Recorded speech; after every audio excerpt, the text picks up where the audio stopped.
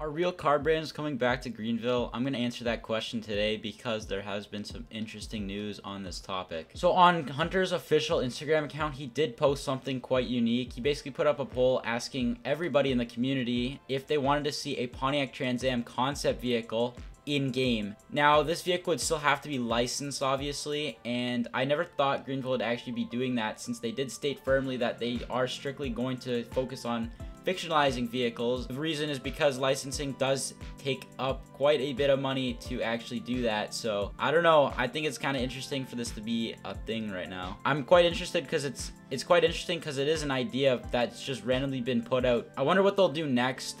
I don't know if there is enough likes on whether this car should be in the game or not, but I feel like it should. The percentages of it is 72% of people actually want to see it in game, so I think that's quite high, but I'm not sure if that's enough. He only wants to license it if it's actually like something that people want, so that makes sense obviously. But see more vehicles being licensed in the future, I don't know, and it could definitely be a possibility based off this post that he did make. I'm excited, honestly. I been wanting some real car brands, definitely, but I understand the situation as it does cost quite a bit of money to license vehicles. I am happy with the fictional vehicles that have come to the game. Very good and very well done for sure. And honestly, besides Driving Empire, there's no real other game that is doing this right now that I'm aware of. But honestly, that's all I really got for today's video. Hope you guys did enjoy, and I just made this video to inform you guys on it. So I'll catch you guys all in the next one.